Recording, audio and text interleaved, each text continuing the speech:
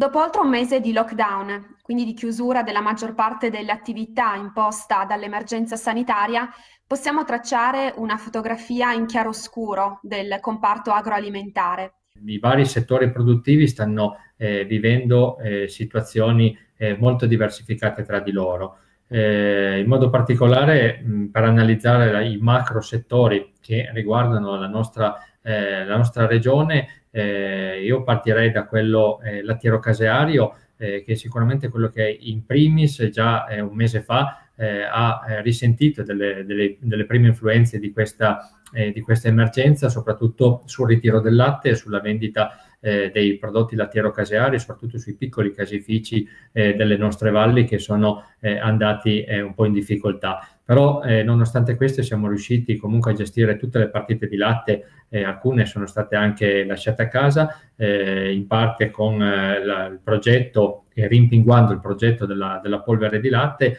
e in altri casi risistemandole e ricollocandole eh, su altri eh, conferenti. Quindi la situazione sul latte ora sembra più normalizzata rispetto a 20-30 giorni fa eh, c'è il, il, problema grosso, eh, come un po' in modo trasversale su tutti i settori, eh, della mancata vendita riferita alla ristorazione, al canale Oreca, alle mense scolastiche, alle mense universitarie, alle mense in generale e quindi questo canale eh, ci auguriamo, ma così sta già in parte avvenendo, è compensato da un aumento delle vendite eh, sui grandi canali della, della GDO, della grande distribuzione organizzata. Sicuramente la stessa cosa vale per il settore vitivinicolo, dove c'è forte preoccupazione. Il nostro tessuto imprenditoriale vitivinicolo è fatto eh, da vendite eh, dirette, quindi in questi mesi, in questo mese pasquale di festività pasquali, c'erano moltissimi turisti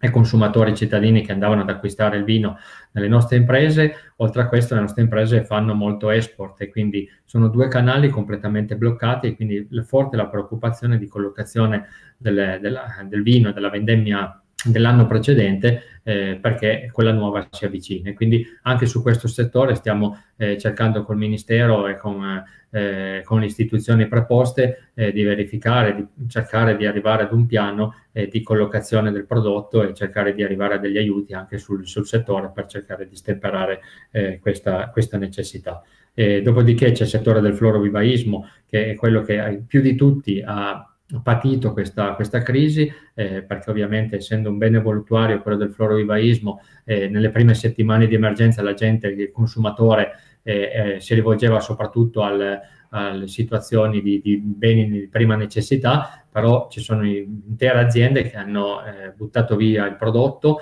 eh, piantini da orto, eh, fiori e quindi su questo stiamo anche attivando il Ministero con un piano specifico di risarcimento danni anche con l'intervento della comunità europea come abbiamo chiesto eh, con, come col diretti. Ci stanno mh, arrivando da, da alcuni soci prima avvisagli anche sul settore zootecnico, in modo particolare l'allevamento eh, dei suini, l'allevamento della piemontese. Eh, dobbiamo cercare di essere molto attenti e chiedo a, ai singoli imprenditori, ai nostri soci, di segnalarci qualsiasi tipo di, eh, di caso riferito a speculazioni. Eh, I consumi continuano perché eh, produciamo del cibo, le nostre imprese producono del cibo, le speculazioni comunque devono, essere, emer- devono emergere, devono essere segnalate e faremo di tutto per cercare eh, di eh, stemperare appunto queste speculazioni perché eh, non è eh, la situazione ideale per andare a speculare in queste situazioni di emergenza.